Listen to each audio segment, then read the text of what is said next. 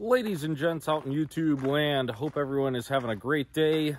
Uh, my name is Mason George. If you happen to be new to my channel, don't forget to subscribe while you're here. Today's video is kind of a, a little fun one. I uh, got out all my personal collection of dirt bikes here and I figured I'd make a little video and uh, show you guys my little personal hoard and you know, a lot of people are into the super restored bikes, and I think that is awesome. I appreciate it. And if you'd like to have a bike restored, that is something that we do at the shop. Um, and it's fun and it's expensive. And yeah, we like that. But personally, I'm a big fan um, of hunting these old dirt bikes out of barns and finding them um, in whatever condition, in original condition, and uh, that is kind of become my personal collection. And you might think, well, that's kind of crazy. Well, if you do, uh, in the Harley world, it's not. Um, in fact, in the last like few years, if you follow Harley stuff, there's a, a really great channel, Hunting Harleys. He got into uh, collecting original paint knuckleheads, and it turns out, after years, right now, the original paint untouched stuff is worth more than these crazy restorations. Um, because, yeah, you can't duplicate that. So, I've kind of gotten into that with dirt bikes a little bit. And, you know, I'm sure it's never going to be to the $200,000 crazy Harley price stuff, but it you know it's a weird little niche market and so far it seems to be uh, paying off pretty good. But um, these bikes here are bikes that are in my personal collection as in they're not up for sale or anything like that uh, just stuff that is kind of near and dear to my heart and uh, stuff that I like so I keep it uh, when I find it. So yeah let's take a little walk through time. We're gonna go multiple decades here of dirt bikes and check them out. And I want you guys to pay attention to things like suspension and the exhaust because the earliest bike is a 62 and the newest bike is a 1983. And in that short amount of time, they changed a lot. So, like I was saying, the first bike in the lineup here is actually my favorite bike. Um, this thing will never be for sale. It uh, has a lot of sentimentals to me. If you guys have been following my channel for a really long time, we had a really good friend, Jack Shields. He worked for Hap Jones. He was like, actually, he was 90 years old when he passed. Um, really good friend of mine. Well, he raced one of these bikes when they were new uh, after he got back from the war which they were semi new at that point. But yeah, um, he was big into these. So this bike right here, I love it. It's a 1962 Greeves motocross scrambler. Now, one thing I will tell you for sure is this pipe right there is uh, aftermarket. Oh yeah, don't mind my notes here. I just didn't want to forget anything. But yeah, this pipe is called a Mayfield and I want to say it was four or five British pounds back in the 60s. Um, I actually have the advertisement for it somewhere. Um, but yeah, Mayfield pipe. Now, this is the oldest bike, so like I was saying, if you look at the exhaust, this is a two-stroke. It is a 250cc bike. Um, these Greeves are actually a British motorcycle. So they were made from 1951 to 1977. And the earlier ones are definitely the cooler ones. Mine is missing the airbox, so I got to get an airbox for it. Um, but I love the condition of this thing. Originally, this bike would have been blue. And if you look real close on the forks where the scratches are, you can see the original blue paint underneath it. Somebody painted this at some point, and I don't know. I don't want to restore this bike. I just think it's super cool the way it is. Um, if anything, I will get it running Um, right now it doesn't run, obviously, but I don't know. I don't want to restore it. I just want to ride it the way it is. It's just too darn cool. And another thing that I want to bring up on the Greeves is the front end. This is the only bike in my lineup that has one like this, but it's called a leading link front end, and it's super cool, and it works pretty good in theory slash on BMW uses a similar design, um, and for downhill braking, it's awesome. I like them just because they look really cool. Moving on and getting a little bit newer, we have the 1966 Bultaco Matador.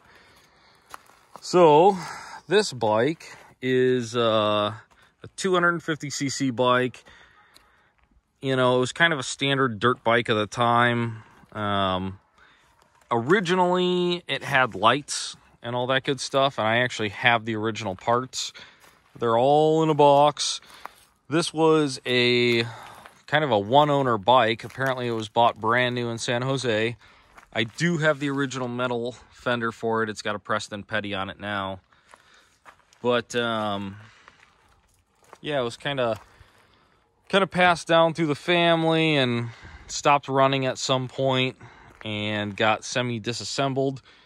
So I acquired it um, and kind of not, you know, I didn't plan on buying it, but we'll see what happens. I have a friend of mine who you might see in future videos who has a super awesome collection and he does not have one of these. So I think this would go great in his museum, um, which he has a full on museum. It's crazy.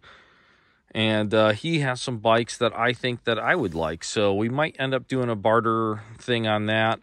Like I said, these bikes aren't for sale, but this one is I have the least attachment to. I do like Bultacos a lot, um, but I'm a big Pursang fan, and this is Matador. Still a really cool bike, and I the only reason that I'm considering it is because it's a friend and it would be going into a museum. You'll see that on future videos. Moving on and getting a little bit newer in age and a little bit more high tech, we have my second favorite bike, I would say, uh, which is the 1972 Penton Jackpiner 175. Um, I am obsessed with Pentons uh, for many reasons. Huge John Penton fan. I'm from Ohio. Whole lot of history there. He did a whole lot of cool stuff for the whole motorcycle industry. And yeah, I love Pentons. So this thing is definitely not going anywhere. Um, I would like to rebuild the engine. Um, I don't know cosmetics, what we're going to do on that front. Uh, this bike should have aluminum fenders. Um, they're kind of rare. So I've been looking, haven't found any yet, but we have all the time in the world. So eventually we'll find the correct fenders. Also headlight, speedo, that kind of thing. Um, it needs some love, but man, for its age, it is in really good condition. And as we travel on down the line, you can see the suspension's getting taller. Don't mind that pizza pie uh, sprocket on there. That is goofy. And I don't know if anyone actually ever ran that. I have the, the regular sprocket for it. But yeah, you can see the travel in the front end.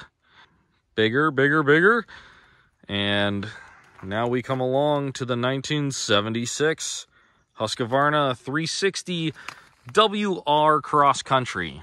So Husqvarnas are really cool motorcycles. I like them a lot. Um, starting with, you know, Steve McQueen rode one. So come on, what do you want? King of Cool. Uh, this thing, 360, factory purple, although the, most of the paint is gone. But uh, everything is there. This bike is in really good shape for its age. And I haven't tried to start it yet. I have a feeling though that this thing is going to run. All the all the all the signs are there pointing to it running, so we just have to make a little time and uh, give it a few kicks. But I think this thing is going to run. Really stoked on it. Um, it should have yellow fenders. So, got to hunt those down. I have a set of Preston Petties, I do believe. They might work on there, not sure. But Husqvarnas are really awesome motorcycles, and a lot of people don't know, but Husqvarna has been around just as long as Harley. Not as successful, but uh, they did start in like 1903. Um, KTM owns them now, uh, which is interesting because this bike right here, the Penton, Pentons were before KTMs and then they became KTMs as in KTM bought out John Penton. Um, this bike is a Penton on the tank and then KTM on the engine. So they did this for like a couple years before KTM fully took them over. But yeah, now coincidentally they own Husqvarna. Pretty neat stuff. Husqvarnas. You'll be seeing more Husqvarnas in future videos, that's for sure. So we move along to the newest bike in the lineup, and that is the 1983 Maico Alpha 1.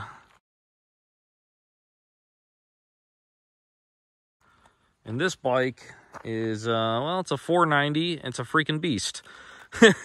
um, they had one major Achilles heel, apparently, and that was the rear suspension.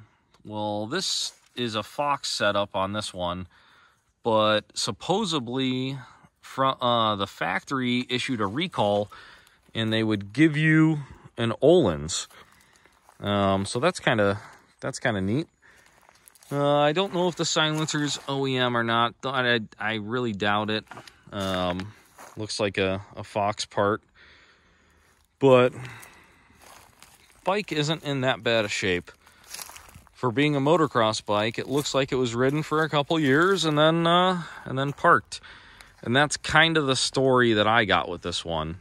I was just really excited because this this is the first Maico that I've ever even had the chance of buying. Well, for outside of auctions and all that good stuff. But organically, this is the first one that I've had the chance to buy, so I jumped on it.